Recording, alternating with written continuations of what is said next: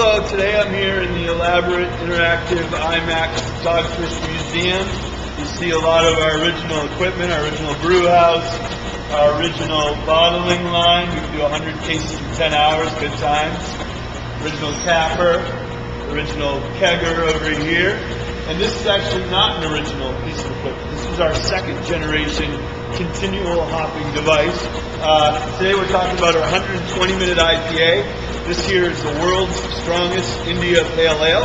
Uh, talking some years got to 20, but we now brew it to come in right around 18% alcohol, as we found over the last seven or eight years.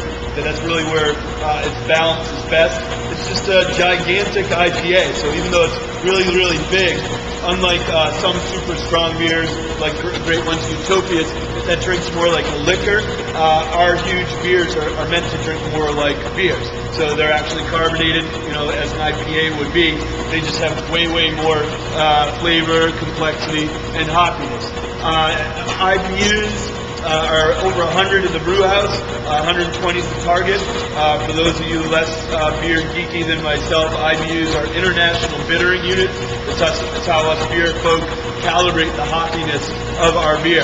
So a normal, a, a, a Coors Bud Miller Light Lager will be 8 10 IBUs. You know, a normal pale ale somewhere around 20 IBUs. So this is literally like six times as strong as hoppy as, an, as a regular pale ale, and about four or five times as strong in alcohol. So it's a sipper. I'm only demonstrating what 12 ounces looks like in a glass. I don't recommend having 12 ounces unless you do that over the course of an easy evening.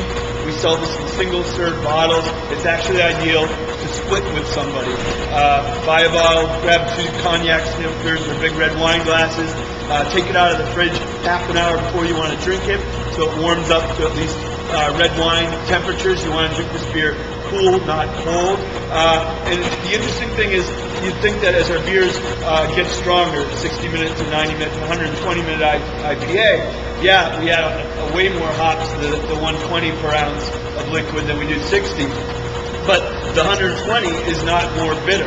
In fact, the 90 is a little bit sweeter than the 60 minute, and the 120 minutes more sweet than the 90. That's because the stronger a beer is, the more unfermentable sugars are still left in the final product. So even though the yeast is eating vast amounts of sugars from a beer that starts uh, with as, as high of an initial gravity as 120, a lot of those residual sugars are left over. And that's part of what makes this such a great beer to lay down. Basically, if you take two bottles of this, split one with a loved one one night, put the other bottle in your cellar for two years, come back and try that. 120 is going to age with incredible complexity. It picks up a lot of uh, marmalade notes to it and a lot of uh, oxidation notes in time that contribute a very sherry-like uh, character to the beer.